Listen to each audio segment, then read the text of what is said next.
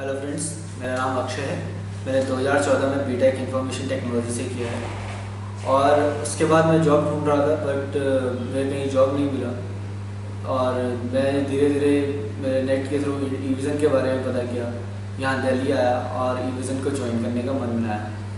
ई को मैंने पिछले साल ज्वाइन करा और उसके एक महीने के अंदर अंदर मैंने विप्रो में प्लेसमेंट ले लिया।